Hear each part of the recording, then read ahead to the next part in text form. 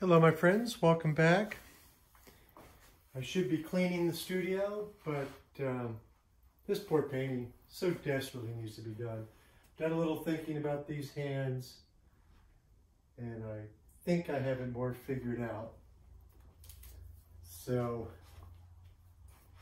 one is this hand is totally in the wrong place.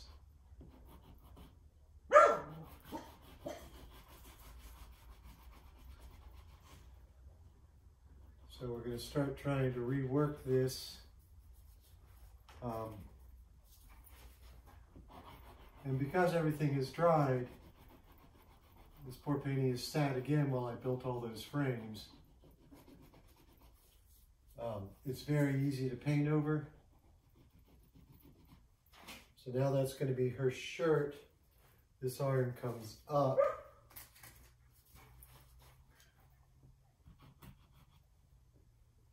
Is holding the back of her phone.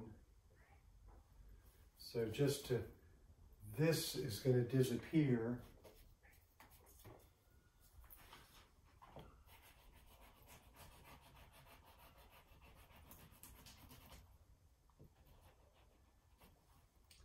And what's actually kind of cute is going to work out that their phones are going to be closer together than they themselves are, which I think is where I'm trying to go with this idea.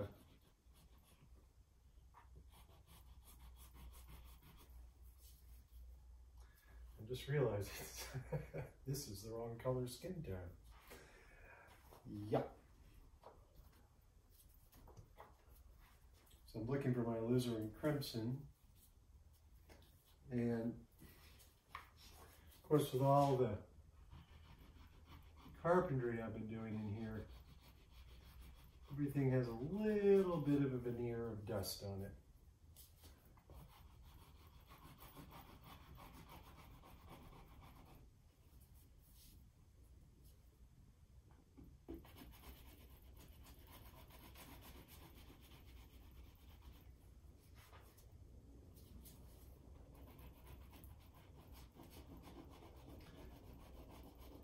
Course, by changing the skin tone, it also um, pops her out of her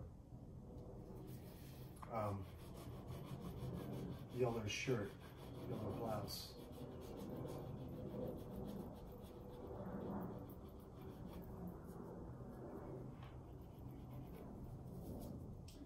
Just lightening that a little bit.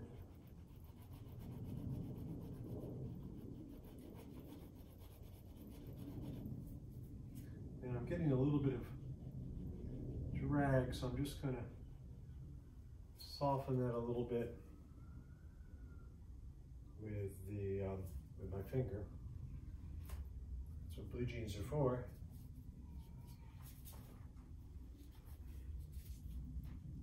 Now I'm looking for my dioxine purple.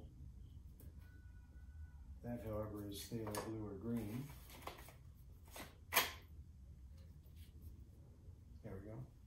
Looks like it. Because I want to use that and alizarin crimson as the basis for my shadow part of her hand.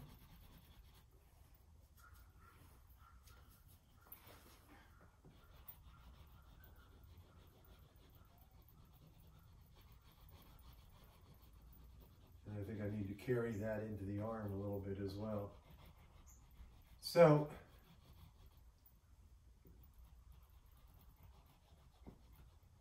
this is where I'm going to, go with the piece. I've got a little bit of adjustment to do in her face. I'll work these things through. And then, of course, the last bit is to finish this hand and the shadow and the highlight there.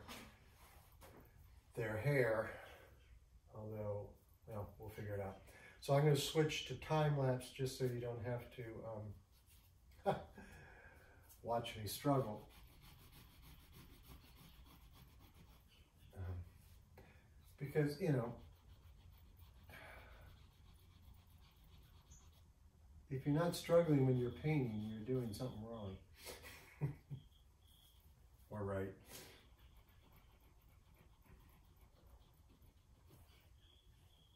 Sometimes they work perfectly. And sometimes they don't. So, like I said, I'm going to switch over to time lapse and keep working on this. And I think we'll get to a better painting eventually. Or the painting I want.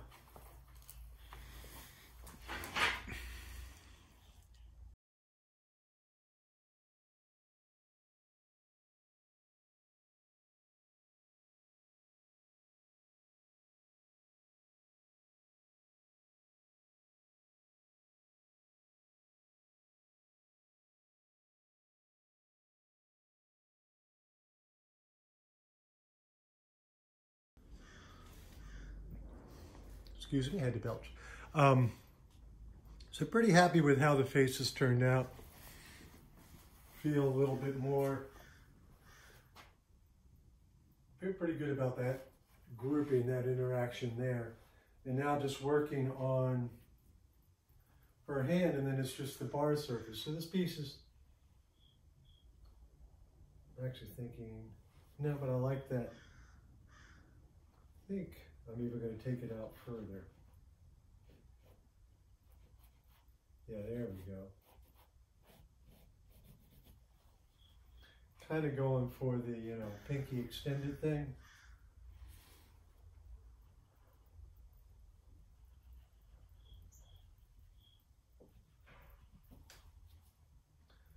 Unfortunately, like I intensified that fingernail, but now that I'm moving it, but it shouldn't be a problem because all of this under the hand is shadow.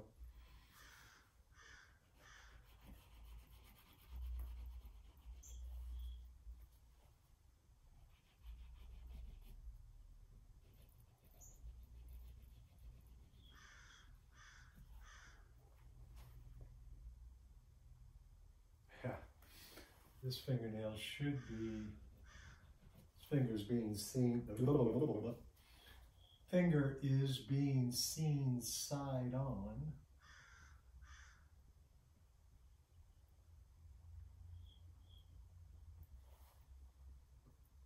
So a little, stumbling over my words, looks a little spooky right now. So I think now we just come back in and try to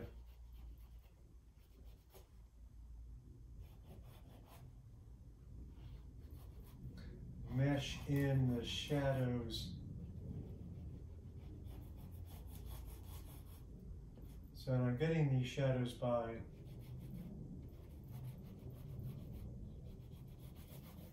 first this red, and then I'm going to lay in a little bit of white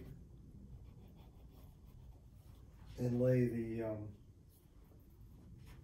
orange, I think, on top.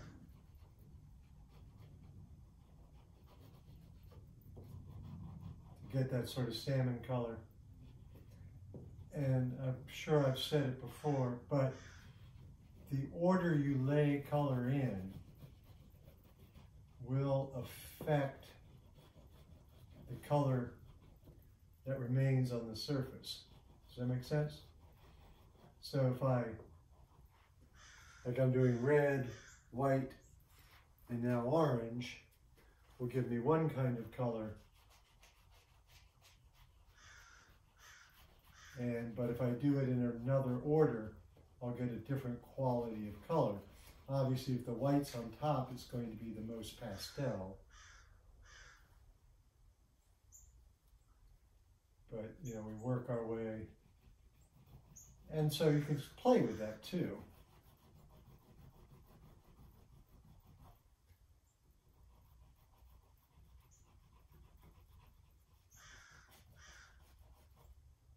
And I think what I'm going to have to do is come back and do the bar surface again too.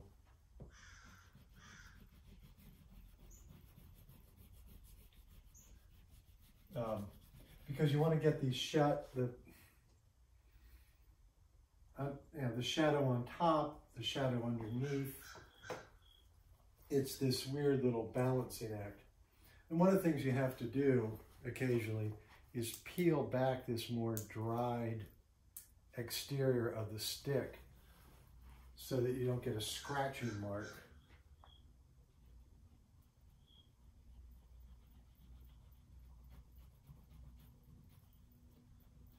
It's like right now I'm feeling this, I didn't get enough red into this.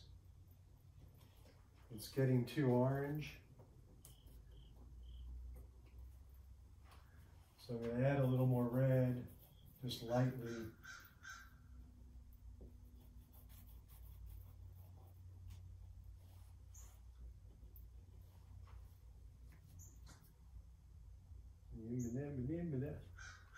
Maybe a touch of white.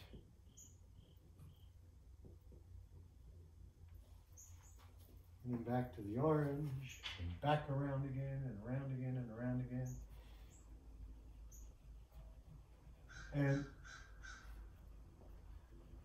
what I will do, because the view you're getting, which of course is the view that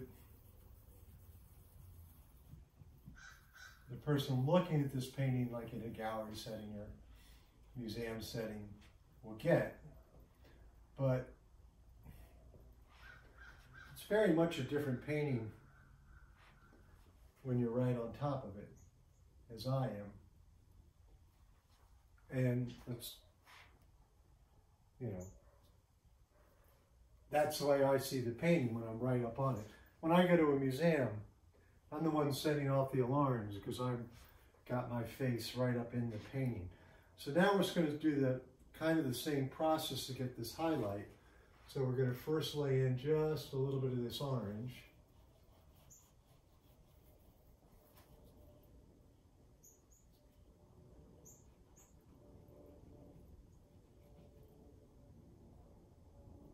I think I'm just going to leave that confused edge confused. Now, see how much red is on that white, and I don't want that much orange into the piece. Now, of course, I've cut, picked up a teeny bit of blue, which you probably can't see from there. So wipe that off, because if I put the blue in, then it's going to get grayed out.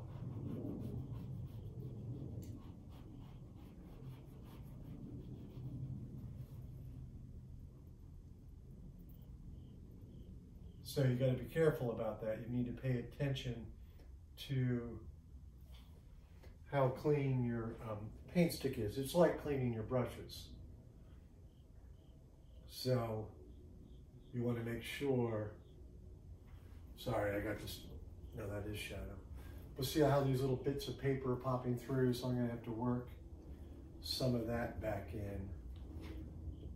I like, it's really cool when you can have zips of other color popping through. This sort of overpainting technique.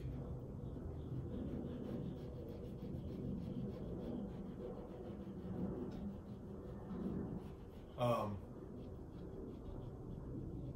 Wayne Thiebaud called those zips.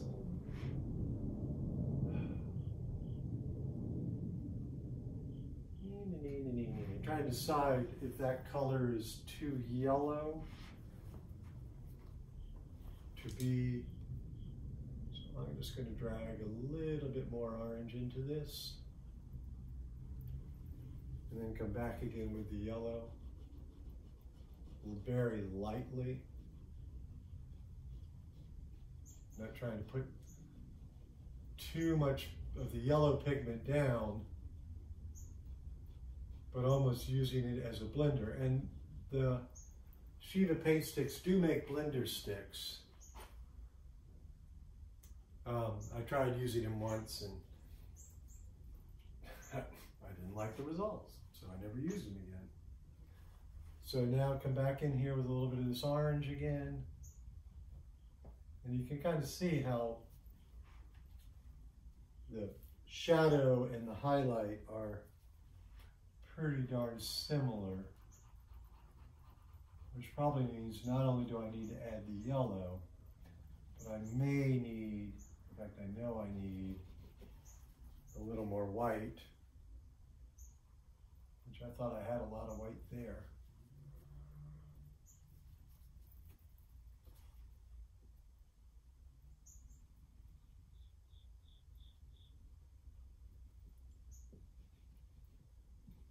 So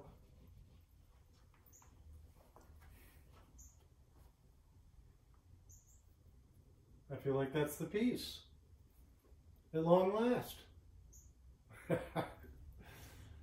and of course the last thing is to sign it. And uh, I do like the title. So taking the gloves off now because I'm not going to be using the paint sticks. And that way I will have um, clean hands for work later tonight.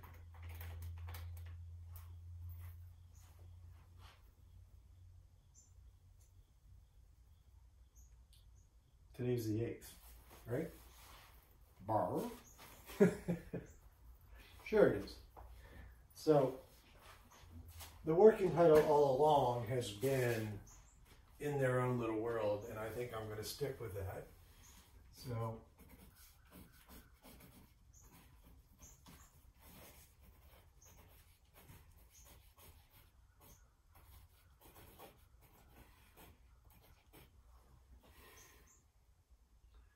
And I've always signed with pencil. Oh, my signature just completely deteriorated there. Might have been because I was struggling to lean over.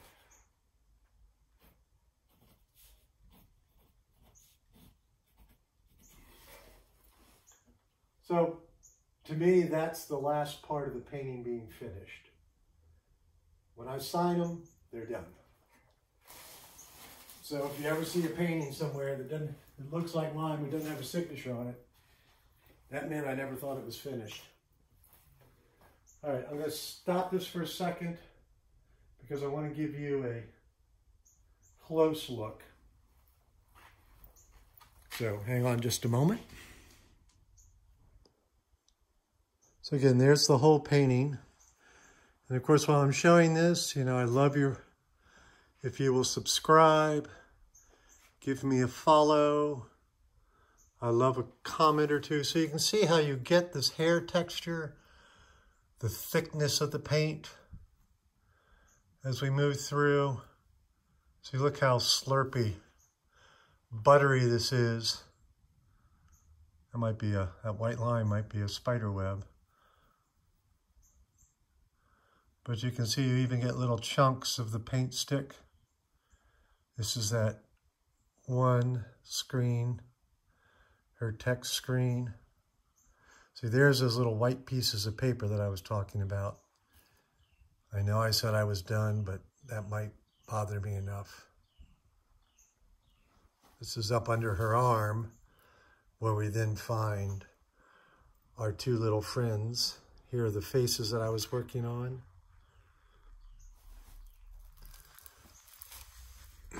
Sorry for the shakiness, but I just knelt down.